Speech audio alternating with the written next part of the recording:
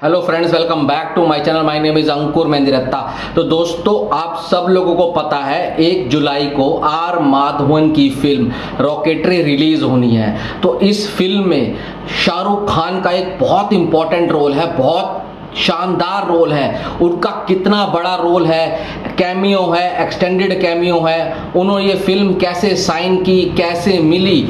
और सबसे बड़ी बात, भाई, शाहरुख खान को साइन करना इतना आसान नहीं है। इस फ़िल्म के लिए उन्होंने कितना पैसा लिया मतलब इस फ़िल्म का आधे से ज़्यादा बजट शाहरुख खान की फ़ीस है। इसी के बारे में हम बात करने वाले हैं। वीडियो को पूरा देखना, बहुत इंपॉर्टेंट वीडियो होने वाला है और बहुत मज़ेदार वीडियो है। भाई, इसके लिए हमारे को थोड़ा सा पीछे जाना होगा।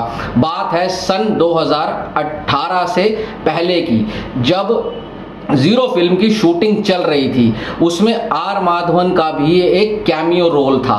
तो उस शूटिंग के दौरान ही आर माधवन ने अपनी इस फ़िल्म का ज़िक्र किया था शाहरुख खान के सामने। उसके थोड़े दिन बाद मतलब शूटिंग के थोड़े दिन बाद या बीच में ही शाहरुख खान का बर्थडे था। तो आर माधवन को इनवाइट किया था शाहरुख खान ने अपने बर्थडे पे। आर माधवन उनके बर्थडे पर गए थे। तो एस आर के ने कहा, यार मैडी मुझे आज भी वो तेरी स्क्रिप्ट याद है। प्लीज़ मुझे यार, उसमें कोई ना कोई रोल दे दे, कुछ भी दे दे, पर दे दे, यार। I want to become this I want to become part of this movie यार। इतना मुझे पसंद आई है तेरी स्क्रिप्ट तो यार मैडी ने बोला यार, सर मज़ाक क्यों कर रहे हो यार? तो उसने बोला, नहीं यार मैडी मैं बहुत ज़्यादा सीरियस हूँ। प्लीज़ यार, मुझे कुछ तो रोल दे दे। पीछे से पासिंग वाला बैकग्राउंड से पासिंग रोल दे दे, पर दे दे।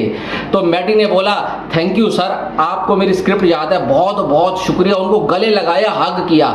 उसके तीन दिन बाद जब अपने आर माधवन मैडी जब अपने घर गए, उनकी वाइफ को उन्होंने ये सारी चीज़ बताई, उनका नाम है सरिता। तो सरिता जी, आर माधवन की वाइफ ने बोला, एक बार आप खान साहब से बात तो कर लो। जब वो इतने आगे से, सामने से आके आपकी फ़िल्म के लिए इतने ज़्यादा एक्साइटेड हैं, करना चाहते हैं, आप उनको एक बार कॉल तो कर लो इनको और मैसेज तो कर लो। तब मैडी ने, आर माधवन ने एस आर के के मैनेजर को कॉल किया। पता है एस आर के के मैनेजर ने छूटते ही क्या कहा? अरे भैया भाई डेट्स बता दो कब देनी है खान साहब की। वो बहुत ज़्यादा सीरियस है इस फ़िल्म को करने के लिए। इसके बाद भी आर माधवन को विश्वास नहीं हुआ। आर माधवन ने बोला, अरे भाई, चने के झाड़ पर क्यों चढ़ा रहे हो यार? मज़ाक मत करो। आपको विश्वास नहीं होगा ये सब देख के, सुन के। मैंने यार इस वीडियो में लिंक डाल दूँगा उनके इंटरव्यू का। आप जाकर ज़रूर देखना, आपको तब पता लगेगा। आर माधवन ने एक एक बात अपने मुँह से कही है।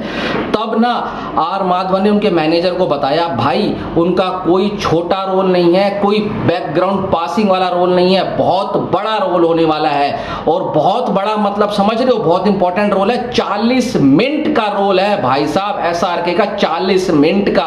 मतलब ढाई घंटे की फ़िल्म में 40 मिनट का एस आर के का रोल है। तो आप समझ सकते हो, शाहरुख खान को ये फ़िल्म कितनी पसंद आई, वो कितने ज़्यादा एक्साइटेड थे इस फ़िल्म के लिए। और दूसरी बात, भाई, इस फ़िल्म के लिए शाहरुख खान ने पता है कितने पैसे लिए हैं? ज़ीरो अंडा. भाई, एक रुपया चार्ज नहीं किया यार, शाहरुख खान ने। ये है उनकी ग्रेटनेस और माधवन ने बहुत तारीफ़ की। कहते यार इंडस्ट्री में ना बहुत कम ऐसे लोग हैं जिन पे आप आँख बंद करके विश्वास कर सकते हैं। आप इस इंटरव्यू को पूरा देखना, आपको बहुत अच्छा लगने वाला अगर आप एस के फ़ैन है ना तो और ज़्यादा उनके फ़ैन हो जाएँगे। भाई, जब से मैंने वीडियो देखा ना, मैंने कहा, यार एस के फैंस को पब्लिक को ये बात पता होनी चाहिए कि आर माधवन क्या सोचते हैं एस के बारे में। इंडस्ट्री क्या सोचती है? भाई, मानना पड़ेगा, सैल्यूट करना पड़ेगा। बंदे ने एक रुपया भी नहीं लिया। बस यार, यही बताना था, वीडियो में कुछ अच्छा लगाओ ना।